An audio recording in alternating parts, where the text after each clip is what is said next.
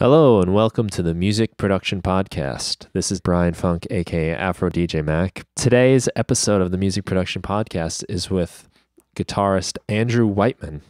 Andrew plays with Broken Social Scene as well as Apostle of Hustle. And I'm really excited about this episode because Andrew's music has been a big influence on me. It's been his bands are some of my favorite indie rock bands of the past few years and uh, he's got some great stories about being on the Stephen Colbert Show, Letterman, and uh, lots of different things. His music making, his electronic music adventures. Um, it's a really nice talk and a lot of fun for me. I'm doing this little introduction just uh, because we kind of jumped right in because there were some technical difficulties. Just bear with those when you hear them. It does sound like maybe like a vacuum cleaner entered the conversation or something, but it's really brief and I don't think it distracts from the uh, overall talk too much. So just bear with those and I hope you enjoy this conversation as much as I did. I had, I had, a great time, and thank you to Andrew for giving me the time to have this conversation. So enjoy. All right, welcome to the Music Production Podcast. This is Brian Funk. I make music as Afro DJ Mac, and I'm very excited today to talk to Andrew Whiteman who is here with me from which part in Canada now? Montreal. Montreal, right. Very cool. So, um, Andrew, I wanted again thank you so much for being, you know, on this little conversation with me. It means a lot. Um, and I've uh, over the years really enjoyed the music you've put out with uh, Broken Social Scene, Apostle of Hustle, and now some of your new stuff. So, thank you very much. My, my pleasure, man. So, um, are you on a little bit of an off time now? Um, I'm actually on a bit of a, starting time. Um, okay. Yeah, social scene. We we've finished our new record. Uh, it's gonna come out July seventh um, in North America, and so you know, Blues Brothers. We put the band back together, and um, we did a little sort of warm up tour in Europe and uh, that was great. And so we're doing a few shows in the summer, and then um, in September we start sort of the album cycle properly. So we do three weeks on the East Coast of the states, and a week on the West Coast, and a few shows in Canada in December, hmm. and then Canadian tour, and then you know we'll kind of see see what happens at that point. Wow, so you've got pretty much the rest of the year sketched out for yourself. I got, yeah, I do, yeah, yeah. it's like the point where you're just about to jump in the pool, right? I have my pool spots actually marked out in the summer. Yeah, nice. we've all kind of locked down like pool time for sure. Yeah, it'd be good right now. I know we're both sweating it out with uh, 90 degree heat. yeah. I caught you guys on the Colbert show and it was awesome. So much fun. Great yeah, that was that, yeah, that was that was pretty good. Yeah, as good as those can be, you know, because they're pretty cold. It's like oh, yeah? a cold studio. It's uh-huh. cold. So, you know, it's you just kind of get up and you're supposed to just do it. Um, but yeah, it was all right. It was all mm. right. I'm pretty critical, self critical of of you know what we do and stuff. But um, that was all right, and I'm glad. I'm glad it went well. Colbert was fun. He shook everyone's hand. What, yeah. can, what more can you ask for? Yeah, right. And as, yeah. is he as much his character um, behind the scenes? Would you say, or?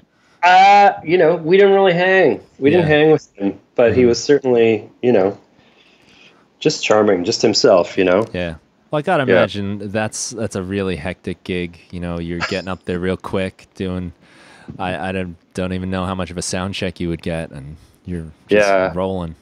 Yeah, we had a good sound check for sure. You know, they they mm-hmm. get all the levels, they got to get it all right in the booth and stuff. Um, no, you have a decent sound check, and then the room is so cold that by the time you get back to actually do the show, your guitar has gone way out of tune because wow. the, the, temperature of the room has messed everyone's tuning up. And yeah, it's kind of fun. Yeah, we've done those kind of shows a few times, Letterman a few times. And my favorite time was playing with Letterman when we were able to get Paul Shaffer involved. He took a solo, nice. you know, I'm him because I was standing beside him. So I mean, that was that was kind of the best one, really, you know, because it's music, so you want to interact with musicians, you know, you want to play, right?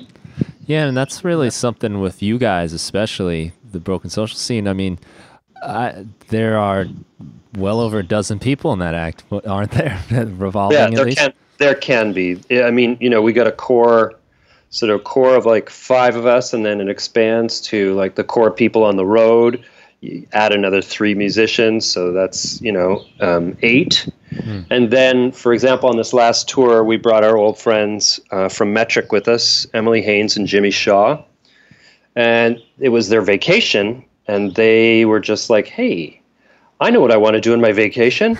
Go on a tour bus with our, you know, BSS." So they came with us too. So we can we can we can sort of ebb and flow with who's there and it is it can be really fun you know especially if you tour with like we toured with jimmy and emily for two weeks. Mm-hmm. and so we really kind of had a nice show going on by the end of it. Yeah. Is that difficult for you guys? Like how do you um adjust when you have um you know make room for the people that are there and then fill in for the people that aren't there? How does that um, work? nah it's not too hard because um, there's sort of a you know we could for every song there could be a pretty stripped down version of it. Mm-hmm. But because of the nature of the way we record, which is, you know, put a hundred tracks down and scale them all back as much as possible. Um, you know, there's always room for a person to, you know, it's like, you know, when you watch, um, you know, Grand Ole Opry or you watch like country music TV or something like yeah. that, you know, why are there seven acoustic guitar players and hear an acoustic guitar? Because they're really good at that like just support you know mm-hmm. so there's always as long as people are playing heads up ball there's always there's room you know yeah yeah well that's cool because i know um, from my own experience in playing in bands it's very easy to um, take up too much space in the band yeah. Um, it's very easy to um, rely on having certain sounds and certain instrumentations where uh, the song almost can't exist without a certain number of people doing a certain number of parts. Yeah, yeah, yeah. No, that's true because at our bare minimum, we're going to be five. yeah. So there's always, you know, it, it, will get covered. Right. But for example, we're going to go do um, um, two radio things next week in Los Angeles. One um, morning becomes eclectic. Do you know that one on KCRW? No, no, no, no. It's a great great. Um, it's a great. Pl- it's a great venue. It's a great um, radio show. Morning becomes eclectic, and it's, mm. you know, there's been so much. It's been so key for indie music over the past ten years, and so we're going to go do a, a session there, and um, the versions we do will be sort of entirely new. And Charles, um, Charles Spearin, one of our core people. He has to be he can't be there because he's staying a day late because it's his daughter's graduation. So you know today i've been learning charlie's part. So if it's really charlie's part in, in a couple songs is integral so there's always a way to pick up pick up yeah. the pieces. Yeah. Well it's nice you guys are versatile enough to do that. And i guess a yeah. good song kind of stands up on its own even if you strip it down to the most sure. basic elements yeah, it shows you different sides of itself, doesn't it? It's kind of a good test. Absolutely. you know a yeah. song's good if you can just do it on guitar, piano, or something. yeah, yeah, exactly. Yeah, very good. So that's that sounds like a lot of fun. A lot of good stuff coming up ahead for you guys. Yeah. um, how's um some of your stuff going? I know you've got the project with your wife, and uh, you we've we've spoken before about some of your work with uh, some more electronic music. How's all that yeah. going for you? Yeah, um, yeah. Um, so Ariel and I, my wife and I, we finished a record, and we're looking for a home right now um, for our project, and that is um, is that Aurora. I mean, it, it, well, it was Aurora. That's what that's what we were calling ourselves. But we decided to change the name for a couple reasons. Number one, the 16 year old Swedish sensation named Aurora. Oh, yeah. uh, number two, um, I kind of wanted to sort of phase myself out of my own band with my wife hmm. because um, she actually is part of Broken Social Scene now too. She contributed a couple of lead vocals on the new record, and you know she's touring, part of the touring party. So, you know, you're married, you're in one band, you're in another band together, um, and you know she really needs to make she really needs to have her voice heard and stuff. So I I kind of have bowed out as much as I can of that. I think I'm going to kind of take a more Dave Stewart approach. Like I'll make beats for her and I'll like play guitar. I'll do, I'll help in the future. I want to help her, but you know, I think I think she needs to stretch. And so this, so we've renamed uh, the band. So the band is now called La Force. Um, it's kind of based on there's a, a tradition in flamenco singing with women flamenco singers often, you know, call themselves, um, you know, La Niña de los Peines or um, what's another one? Like they call themselves like, you know, they give themselves this kind of name, this power name. Mm-hmm. And so La Force is really good for Ariel. It means the force that goes through you, you know, the okay. duende. And so we're looking for a home for this record, which is utterly fabulous. Um, I have no shame and or no hesitation. I think it's a really strong record, um, and it's freaky fresh. Um, it doesn't. It doesn't. You can't name the genre. I suppose. Oh, cool. You can't, and you can't separate what's, you know, quote unquote electronic or from the laptop from what's not, from what we recorded just in the room. So that's really fun. And uh, once we find a home for that, we'll probably do some shows. And then the stuff I do on my own, I have a couple new projects. One is a, a live uh, improvised electronic music with a couple friends. One one from band, both Canadian bands. One's called Stars, um, a guy in that band, Chris Seligman, who plays keyboards, and then another band called Young Galaxy, kind of like an electro pop band. His name's Steve Ramsay. So we have a band. Uh, uh, we're like it's called Beta Blockers, and we're kind of like dads. Like I guess like 40 years ago, like dads would go to the garage and like drink some beer and play some CCR tunes or whatever. Yeah. So our version of that is we get together, we got the MIDI clock, we all lock into the clock. Mm-hmm. You know, I bring my TR8 and uh, I have like an S1 and a TR8. The S1's loaded up with all these, you know, quote, antique synths from Roland, soft synths that you can, I don't know if you know that synth, but you oh, can. Yeah. You plug, you know what I'm talking plug about, right? Out deal, plug right? out, and yeah. so I, I was totally into it. So you know, I loaded up with like a Promars or SH2 or something like that. And Steve has his gear, and we just we record on Ableton, and we just record. We'll we'll um, we'll hang out and we'll watch the sunset go down after the kids have gone to bed, and we'll we'll play for an hour and a half, not talk, hmm. and then we'll stop, take a break, and then do it again, and and um, so that's, I mean, that's could be the most fun I have all week. Is uh, you know, that. Like it's so great. It's so, you know, and he's got that German MIDI clock. So it's got like you can kind of adjust the swing or you can really find like where to sit. And that's, you know, I just because I actually find like joy in the MIDI. Like playing with MIDI and that whole thing, like it's so I found it so bizarre um, when I started doing it a few years ago. And I just couldn't believe it when I was like, oh my God, is that how it works? You have a MIDI clock and then you have like all these machines are hooked up to it. And then you just kind of go. That's how it, everyone does it. Like that, that moment of like, huh? That's how it is? and it's just i guess i'm still at that really naive point but it's just it's i find it so thrilling you know what i mean it's yeah, it's I've, a real lift. Man. I had the same experience too because I came from playing with people and on instruments and uh, when um, I got into that, and was, you know, first it was like through the computer, you know, doing with like uh, virtual synths and stuff. But the first time I ever hooked up a couple things and had a friend over and we put them together and they were working together, yeah. we were like, oh my god, we almost didn't want to touch anything. yeah, but it was like this magic, like. Um, you know, like the machines are alive and intelligent feeling and really exciting.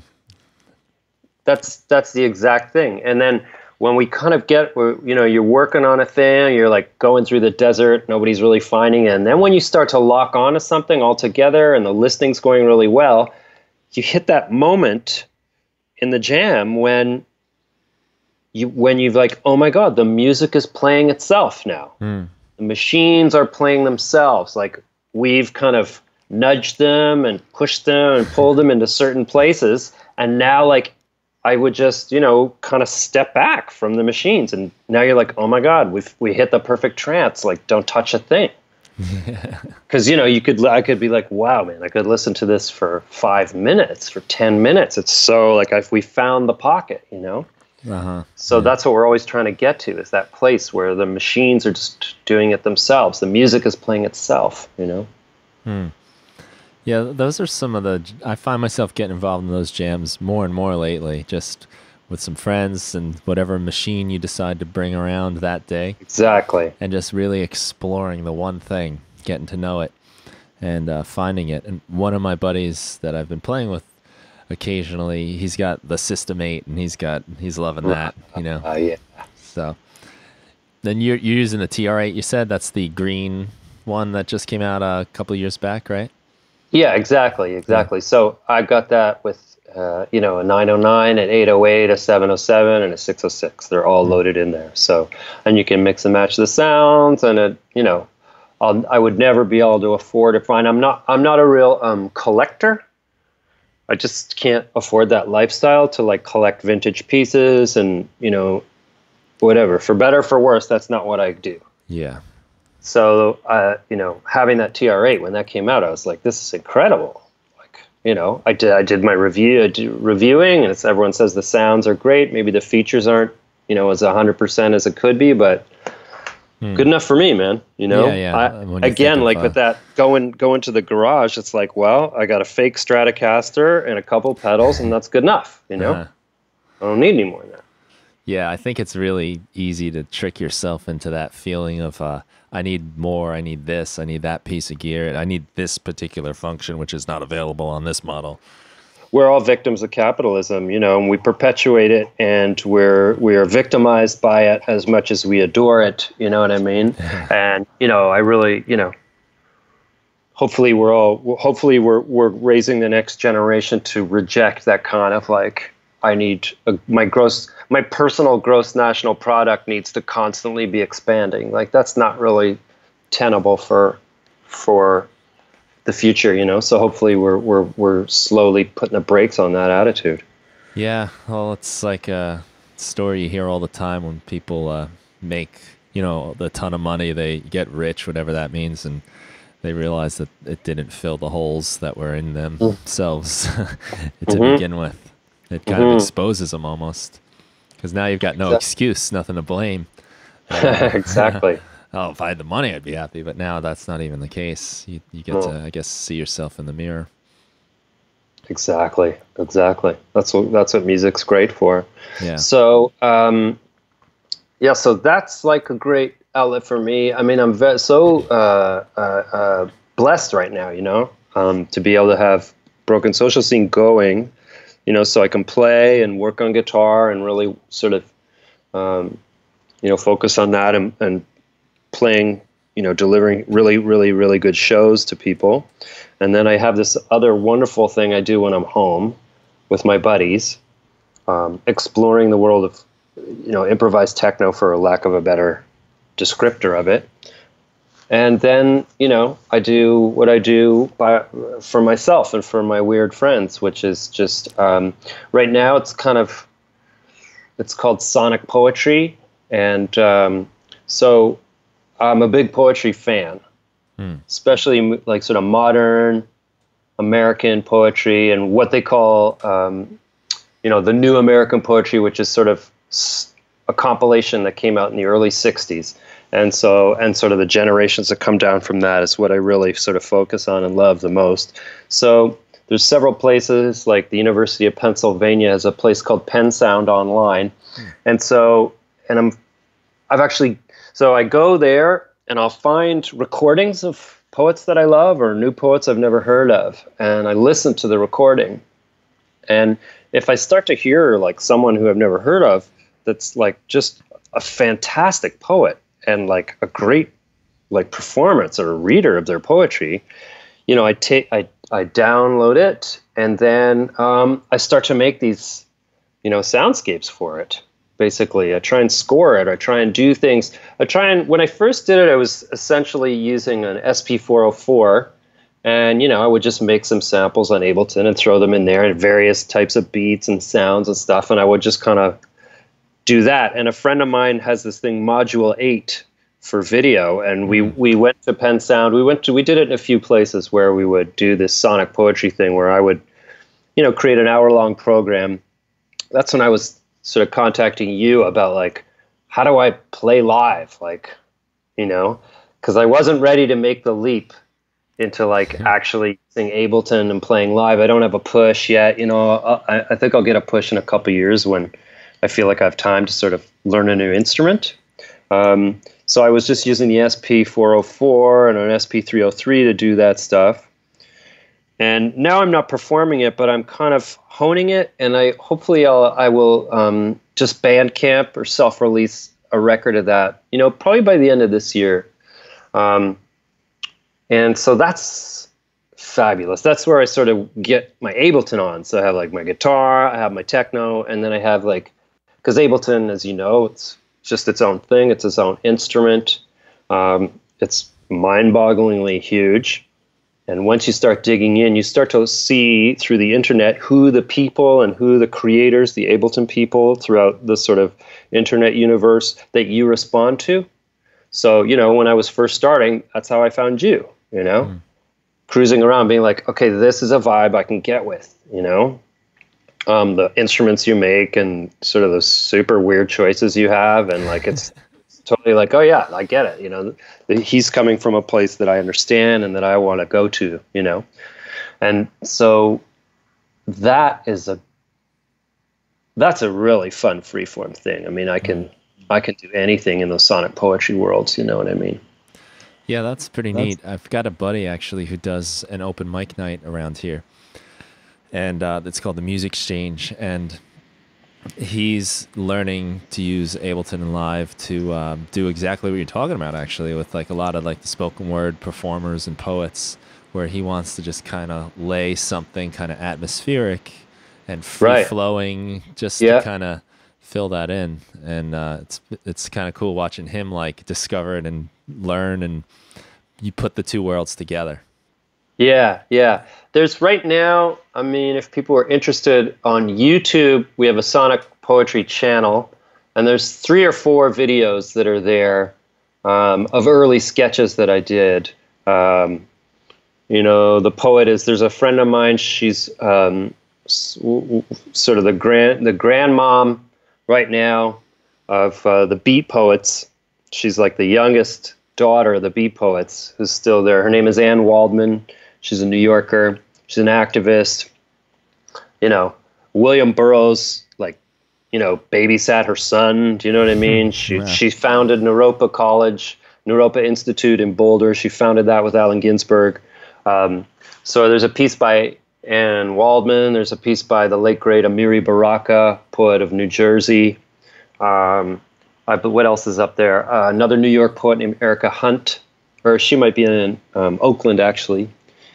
And uh, is there anyone else? There's maybe a couple more things up there. So that's you know, if you could tip your friend off, show him what I'm doing, and we we can exchange ideas because you know it's one thing to like lay down a quote you know hip hop beat and mm-hmm. put poetry on top of it, but that's not really whatever. You do that when you first starting. You're like, oh my god, it sounds great, and then you're like, ah, actually no, you know, let's go a little farther. Let's explore what's happening here. Let's like kind of get into composition and arrangement composition texture like ableton puts all these things you know at your your fingertips these all those things melodic you know invention and reversing and inverting and there's just way too much to deal with. So let's get into that you know what i mean?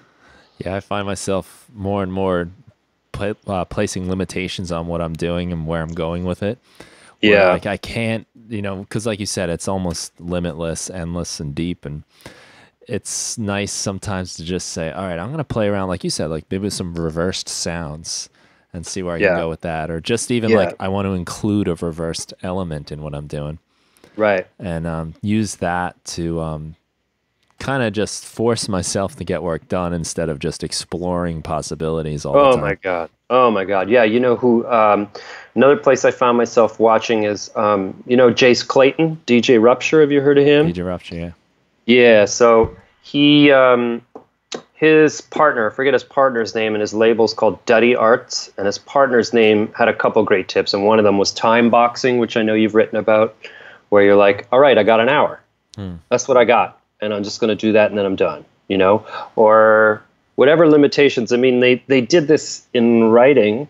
Um, in France, they had a group called the Oulipo, which was the uh, like ouverture de littérature or something like that, potential literatures, and all the writing in Oulipo would be um, highly limited. So, for example, um, one of their writers, a guy named uh, Georges Perec, he wrote an entire book, and all the words there there were no vowels allowed. Or oh no, how did it work? It worked that the e, the vowel e, was not allowed. Wow. So he wrote an entire book without the vowel E, and the book was called A Void. And so it's just kind of like meta upon meta. Do you know what I mean? Yeah. Yeah, or, you know, you're only allowed like very highly limited, you know, instructions on how you're supposed to create your art. And that is, you know, anyone who's spent any time with Ableton realizes like, wow, I got to do I got to put the brakes on Yeah, you do. because I'll just spend so much time. You know, as you said, I'll make I'm going to make a piece out of reverse sounds, only reverse sounds, or I'm going to make all my instruments are going to be made from like samples of my cat drinking water, like or whatever it is. Like, Super important. yeah, I have an exercise I do with uh, my students. This, as I told you, was the last day of teaching, last day of classes. So, uh, yeah, feeling pretty uh, light in the shoulders here today. um, I thought it would be a great idea one day. I was like, you know what? I'll just let them write whatever they want. Anything goes. You know, Yeah. and that'd be so fun because they can talk about their feelings, their emotions, you know, whatever's going on in their lives. They could write a story about a superhero. It doesn't matter. And I said, okay, guys, today's assignment, you're just gonna do whatever you want, write whatever you want. And I never got so many confused faces looking back at me at once because they're just like, uh. yeah, And I, then I start figuring, oh, well, maybe they just need some ideas. So I start listing ideas. Didn't work out. What I wound up doing was giving them like very strict limitations. Like uh, we, what we did, and, and I think this is a cool thing to do with music too, is we sort of brainstormed like, all right, uh, let's name like uh, five places. We came up with five places. The the uh, the Taco Bell, you know, uh, Yeah. a basement. Um, you know, just come up with a bunch. Yeah. And then it's like, all right, you have to include one of those in your story. And then, and you just do it. We did. I called it the five five five challenge. I had to use five of these things yeah, um, in three different categories, and then the stuff started happening, and that That's was it, such a like eye opener for me because I'm thinking like freedom equals creativity, but it's really restrictions. no That- restrictions. That's absolutely it. You can't have good without evil. You know what I mean? Yeah. And this ties into the capitalist, my anti-capitalist stance, because you know you can't you you need boundaries. Like we can't have everything all the time. Like it's just that ain't right, man. You know you need limits. Li- setting limits is what creates f- like actual fertility and fecundity. You know what I mean in the work and in life. Like Yeah, it's really true because you can't have anything get all powerful or too large or too vast. Um. I mean, I guess that's why they have like weight classes in boxing and in the UFC, you know. Otherwise, right. Oh yeah, yeah. Right, right. you know, you got to have like those confines. Like, yeah, you you have to work within this range. Otherwise, you have to move to something else. exactly. Yeah, yeah. I hear that. I guess it applies to a lot of things. The more you think about it. But that's where we get inventive, I think, is when we have to find a way out, where we have to find a way around things and uh, get a solution. Yeah, the mothers of invention, man. I'm I was just listening to um they like remixed uh, Sergeant Pepper's. Oh Did yeah. Did you see that? Did you get to No, who's they? Uh, they, uh, yeah, good question. Like, how do you get that? Uh, I guess you have to be George Martin's son.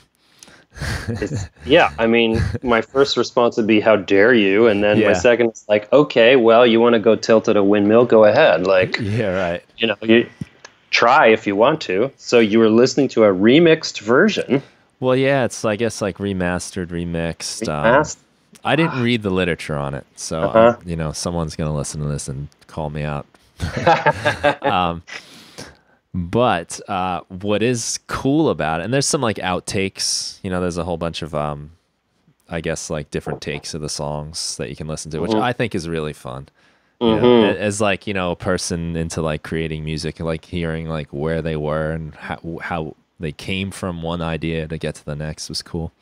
Yeah, But it was a nice experience to just hear all these elements a little bit differently. You know, they might even Yeah. be, it's the same performances, but like they kind of emphasize maybe like that tom drum here and yeah, it was a lot of fun. It was um I'm with you where like I don't want to uh fix what's not broken, but it's kind of a fun I guess exploration. You know, for sure, for sure. I, went. I have one of those. Um, I have one of those double CDs they put out, uh, like probably 20 years ago, of Beatles outtakes. Like Mhm. you know, it was officially Oh, the sanctioned. by- anthologies. yeah, the anthologies. Yeah. Yeah, and I've you know those, yeah. that stuff is fucking gold. I mean, it Uh-huh. is really fun to listen to these other versions because after whatever, what year is it? Sixty four or sixty? Yes, early sixty four. They were essentially just a studio band, Hmm. and you know, nine to fiving it a lot of the time, and that's just it's just fabulous hearing that stuff. I mean. Um, Boy, the samples, the samples that are in those things. Yeah, I was thinking that too. Actually, Big listening. drums, boy, they're so. It sounds so fantastic. Yeah. You know, can't beat the sound of his drums, man. I know. I know. Well, there's a good plugin um, for Kontakt. Uh, Oh, yeah? Abbey Road drums. Yeah, yeah, I have some of those. I used to. Uh, I got rid of all the stuff that I stole off the internet, and that was one of them. so Um, I cleaned it. man, but that's part of our limitations, right? Yeah. Well, that was part of the problem. Is I spent all this time downloading and learning Yeah. how to crack uh, software, and then months went by, and I realized I had all this gear I don't know how to use, and I've made no music. Yeah, good for you, man. That's how that's how it's done. that's exactly it. But that's when you're first, you know, you're the rush of like, oh my god, oh my god, oh my god. But that's great. Yeah, that stuff is that stuff is fabulous. I find myself trying to yeah, the same like plugins. God, it's it's, it's a nightmare. So I, I've picked like three or four places where I get my stuff. Get my stuff from AfroDJMac. I get like my Sonic Couture stuff. You know, a couple of other things. That's it. Sound toys. That's it. Yeah, Sound Toys makes good stuff. Yeah, and then you're done, man. What what you know? What the hell are you doing? Yeah, it's uh, it's so easy because uh, you know there's always good uh, marketing and everything, and uh, there's that like carrot. There's that's so easy to dangle in front of the musician. Like this is where your next hit's coming from. This is, this is your breakthrough. I always think of like the music stores offering like uh, 12 month financing. like by then we'll have totally made it, man. Let's totally invest in the gear. wow, wow. Yeah, Yeah, those that's. anthologies would be nice to mill for some samples. I'm telling you, man. There, it's rife with samples in there. I mean, and then the, you know, the the stealing, the stealing part of it. Um, I don't know how you feel, but you know, I certainly, I don't have any qualms about that, man. Yeah. you know, re- repurposing music and taking samples. I know just through me that like it's never gonna be what you know. I, I'm never gonna be like quote ripping off an idea that I can get sued for. Like I'm not stealing a melody or whatever, but I don't have a problem. Like if I start sampling some fantastic Ringo drum sounds for my next sonic poetry thing, who cares? Come and get me. You know what I mean? I had a I had an argument once um, with my old record label in Toronto, Arts and Crafts. So the last Apostle of Hustle record, which is called Eats Darkness, Apostle of Hustle. I had I made there's very early um, experiments with what I'm talking about. So I, I was I wanted to have like skits like they did on a hip hop record. I wanted to have skits in between these tunes. Uh, so I made little proto sonic poetry things, and it wasn't, I used mostly just sound effects. And I would grab little things and they would kind of illustrate the song that was coming. And a couple of things I, one of the things I sampled was um, I sampled the voice of the character Al Swearingen from a HBO show called Deadwood. Oh, okay. And uh, so, oh, and I also I also uh, sampled um, Paulie Walnuts from The Sopranos, Mm-hmm. and uh, doing this thing where he's like, uh, "Snakes, they're both men, male. Uh, hey, uh, you know, Tony, you know, snakes are both male and female. You know, that's why they. That's why when you tell a guy, yeah, go fuck yourself, like it's something like." And it was my label was like, "No, dude, you can't do that. We're gonna get sued." And I, I, I was so angry. I was like, we're not going to get sued. I'm going to sell a thousand copies at most, man. No one's going to hear this. No one's going to, you know what I mean? Apostle Hustle fans will love it, and no one else will ever care or hear about it. And they made me, you know, they're like, no, no, you got to like redo it, you know. So I kind of redid it, but that's like, I regret it.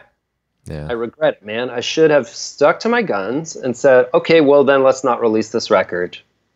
Hmm. Let's, you know, um, and not to be kind of a diva or like tantrumy or whatever, but I guess what I'm saying is that if you have a f- real feeling in your guts about something, you gotta like, you gotta do what it tells you because my guts are saying, okay, then don't compromise what you made because I re- it really mattered to me what I made, you know? And so I said yes and I redid some stuff and it's fine, but I'm still pissed off about it now, obviously, 10 years later. That, why did I do that, you know? you got your outtake version now for the uh, 50th do. or 60th anniversary or whatever. yeah, I, I'm kind of with you on that um, about sampling. I, I guess a lot of like how I'm trying to approach things too is not really worrying about what's going to happen with it while I'm making it. Definitely. You know, let that deal with that later. But like for now, yeah, if we want to, if we're just fooling around, you know, especially if it's sort of like, you know, like you said, your dad jam or something like, like who cares? Like have fun with it. Yeah. And I've had some good experiences where we, you know, we're definitely doing something illegal with samples. Yeah. But it was for no reason other than just to fool around. Yeah. And um, I've even done that like educationally. Like um, I do a, a little music production thing with some of the high school kids, and sometimes we'll just like you know it doesn't matter if we're sampling something. We're not going out and putting this thing out anywhere. that Everyone's gonna hear it. But sometimes I I do get a lot of um, you know interesting uh, I guess like emails or tweets or whatever from people where they're really concerned over like, you know, is it okay if they do this sample or not? And I don't always have the best advice, I guess, but it's kind of like just do it. You know, who cares? You know, Yeah, just just yeah. hone your craft. And have yeah, exactly. Yeah, just just do it, man. Like worry about like the legalities of those things later because this is just an Yeah. accepted practice. Like this is how we make music. I mean, I'm a musician who like I pay 10 bucks a month for Spotify. And we all know how like whatever that you know, I someone would maybe call me a hypocrite because like, well, geez, Spotify pays pennies and it's terrible and it's it's true. I don't I don't go for that you know I don't go for that business model in a sense like you know musicians ought to be paid for our work but at the same time like I'm not going to fight against I can't I can't win that battle and Spotify's fan, like that service of Apple Music or Spotify or whatever it's fantastic Yeah. I mean I'm a music junkie I'm still I'm 50 years old, man. I'm a music junkie still. I, I you know I'm starving for it. I listen to it all the time. I got headphones on all the time. I'm so I can't not I can't not be part of my times. You Yeah, know, that's, uh, I'm into it, man. I, I embrace it and I reject it at the same time. I'm full of contradictions as as Walt Whitman says, you know? Yeah, well, we all uh, are. It's good to be yeah, at peace with are. that. yeah, exactly. Exactly. Um, so, yeah, let's just do it. Let's make the work and then see what's coming next and not worry about it. You know, let's just keep trying to push this forward. And yeah. I, I, I can't help but talking about politics all the time. We need to push it forward in cause of the revolution. I'm, I'm, you know, I'm a huge Bernie Sanders fan, and I hope somewhere like the new Bernie is being cultivated somewhere in your wonderful country.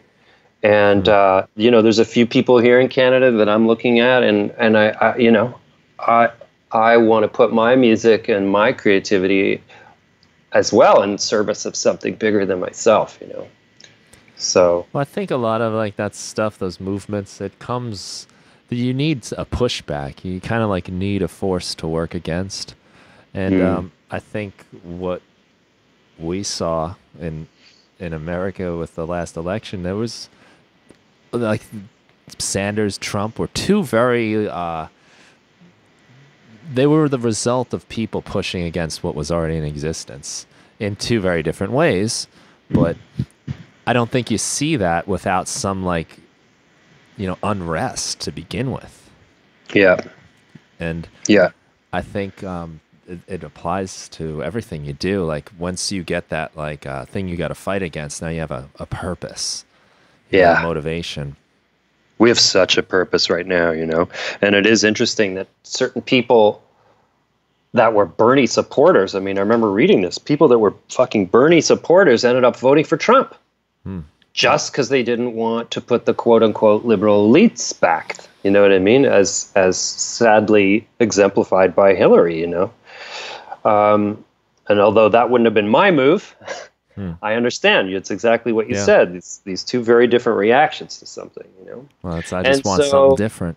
Just yeah, give me something different. So, yeah. So our music, you know, potentially. I mean, I'm trying to link it. I'm trying to link things together in my own small way. You know, mm-hmm. uh, my sonic poetry that I'm doing is the the record that'll come out. It'll come out under Sonic Poetry, or it'll come out under Sound Hustle is another name I, I grabbed on Instagram, so now no one else would steal it. Um, because it nods to my past as Apostle Hustle, and it nods to That's just cool. like Ableton in terms of just it's all sound, right? No matter what you're working with.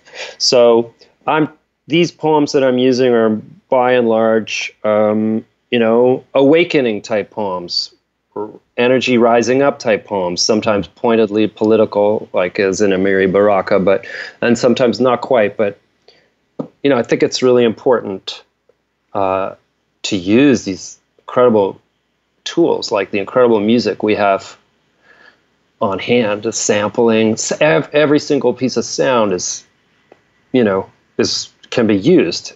Everything can be used. People have fabulous ideas that there's a little series on the Ableton webpage. Um, one more thing, or what's that called? Did you see yeah, it? Yeah, yeah, one thing, right?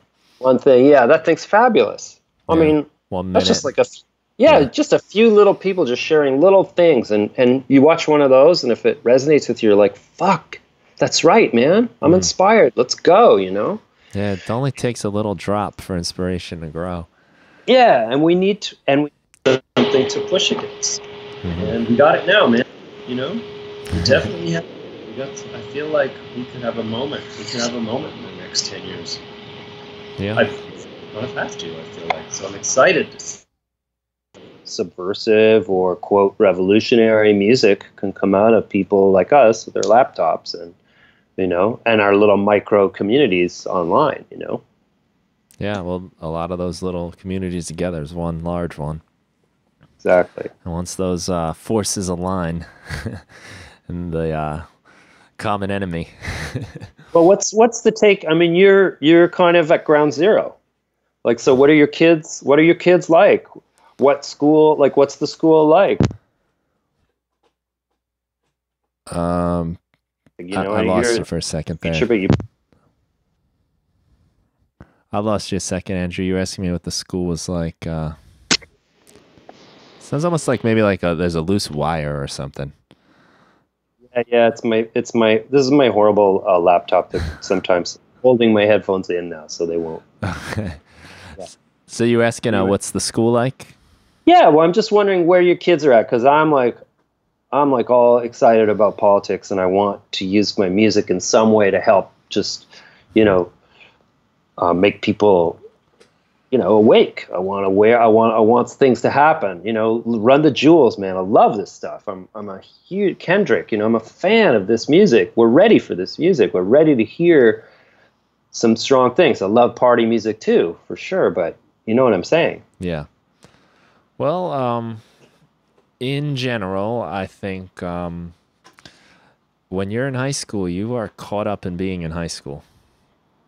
You know, that's Yeah. everything. Yeah. Um, Right. Yeah. And I do ninth and 12th grade as of the last few years. I've done them all in high school, but uh, lately it's 9 and 12. And that's a very interesting uh, dichotomy because you've got, on one hand, a ninth grader. And when you're a ninth grader, and this occurred to me one day, I was watching them in the cafeteria picking on each other. Best friends, you know, all hassling each other, punching each other, putting things in their food. and you'd go and they're like, oh, that's my best friend. but um, there's so they're so stuck kind of where they are because they've got uh, four years of their life in this Oh, one go. place. They're stuck for the next four years where they are in high school, and I mean, if you or I um, decided that you know we've had enough and we needed to start new and change things up, I mean, we could do it.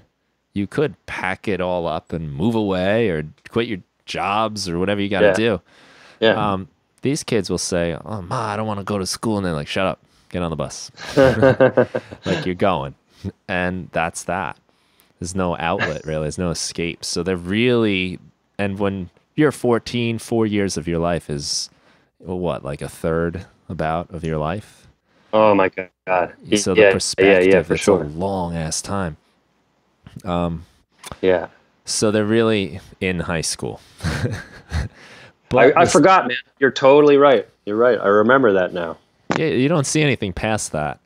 Yeah. but even the seniors um, they are definitely different but they're still like that's still lingering with them they're shocked now that they're not coming back but they do start to look towards the outside world they're a little more curious about it and i love working with them for that reason because they're kind of wondering about it so yeah you'll see like some of them they start getting like concerned about things that are going on and, and you know they all have their own issues whatever it is that they think is important but they start taking an interest where i don't really see it as much in the younger kids because i don't think they're looking worldview they're not looking big picture they're looking Right. you know what does everyone think about me kind of thing Yeah. Totally. Totally. You're right. You're right. You're right. I remember that really well.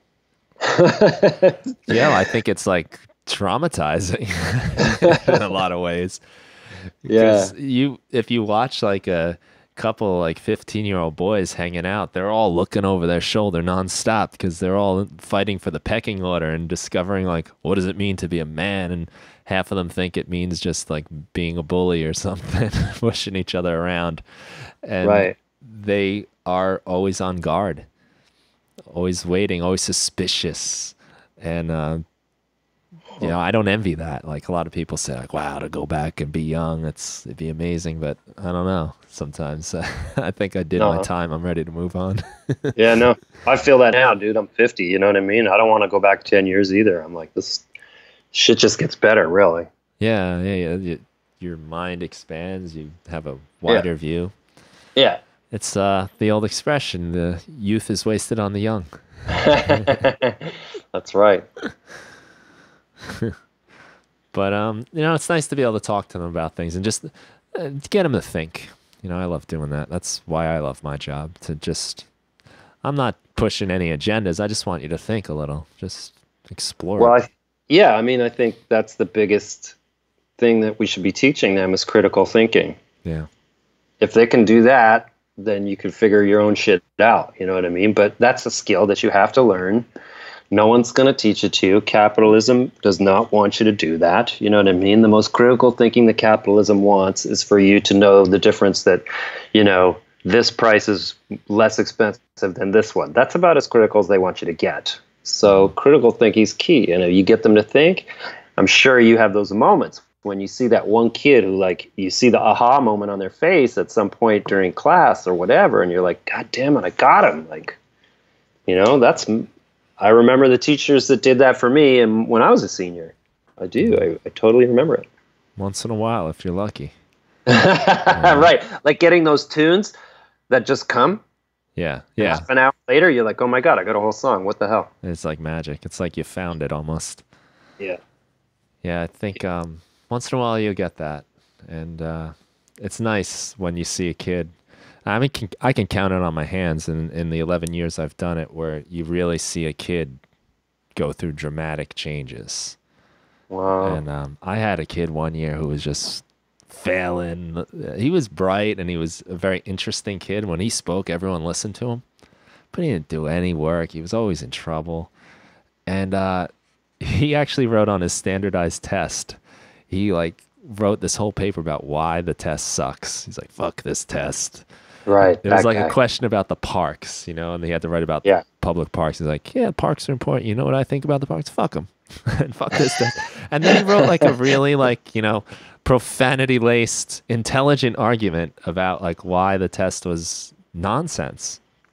And from that moment on, the kid just changed. He just decided that uh, he was going to make something of himself, you know, instead of just being a victim of his situation.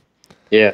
And I remember just this one day, he was, uh, I was standing outside the hall as the kids are coming in, and he's um, with a group of friends. They're like, hey, man, why don't you come out anymore? You don't hang out. He's like, sorry, guys, I've given up on giving up. And walked past them, and I was like, Damn. wow. You're like, oh, man, that's the song title. Like, I don't know what that is, but. That's great. That was yeah. like a lesson for me. You know, that was when yeah, I was a exactly. student. exactly. It's pretty cool. There's hope. Yeah, it's out there. There's you know? hope. There's. that's good, man. We need, you know, we need that kid. That's fabulous. Yeah. Yeah, it's out there, you know, and they'll come to it when they're ready. Um, there's one thing I learned: you can't give it to them before they're ready, though. yeah, yeah, yeah, yeah, for sure.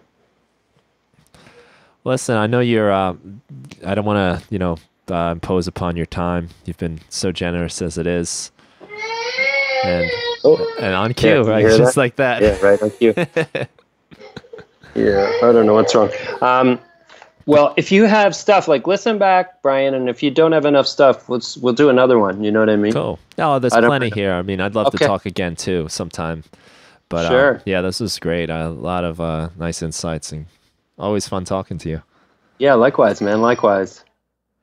All right, and there you have it. My conversation with Andrew Whiteman. Andrew's about to embark on a pretty big tour with Broken Social Scene. So if they're in your neighborhood, stop by, check them out. They are an awesome band, huge lineup, and big sound and great music. So thanks a lot for listening. I appreciate all of your time. This has been a great uh, journey for me as we motor past uh, the 25th episode of the show. If you are enjoying it, I would love it if you could maybe tell a friend, share it online on your social networks, or even give it a review wherever you listen to your podcasts. This has been a great pleasure for me, and I look forward to many more great conversations. So thanks again, and have a good day.